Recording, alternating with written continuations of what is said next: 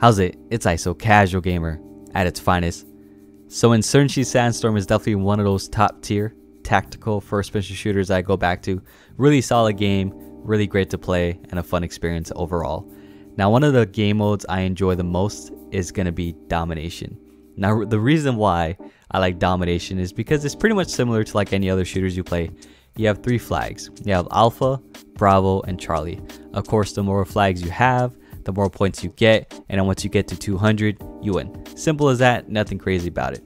Now, the reason why I like it better than the other game modes in Insurgency is because I don't have to worry about the amount of death tickets you have for your team. You don't have to worry about the respawn waves that you have.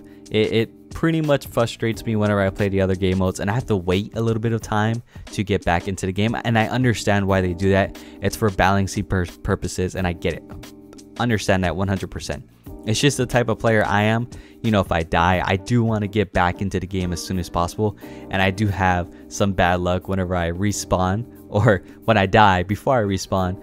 I essentially have to wait like 30 seconds to a minute, or if the team actually caps the point in order to get back into the game, right? So, because of the type of player I am, the other game modes aren't bad, but I definitely prefer domination more because once I get into the game, I go and try to cap the flag, I die, I just respawn in an area whether we had the cap flagged or someplace where it's safe, right? It's not perfect by any means. There are times where as soon as I respawn, I get back and try to run out and I just die instantly. It is what it is, but it's not that much of a problem overall. So I gotta say, domination for me is the way to play. It's definitely the game mode I enjoy.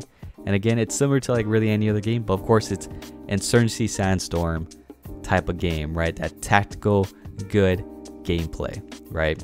Now, I mean, Insurgency is a dope game in general. Now that they have domination and I just enjoy the game that much more. And actually going back into it recently, I was like, dang, this game is just dope. And again, domination just makes it that much better for me because of the type of player I am. So the game is fun. It's not perfect by any means as far as the game mode, but it works. And I think they implemented it really well and I'm enjoying it. So let me know if you guys play Insurgency Sandstorm, if you checked out the Domination mode, and if you haven't, check it out. It's a little bit more fast paced than the typical modes that they have, but if you're like me and you want more fast paced, then this is perfect for you. But yeah, that's all I got for you guys. I'll catch you in the next one. Shoots.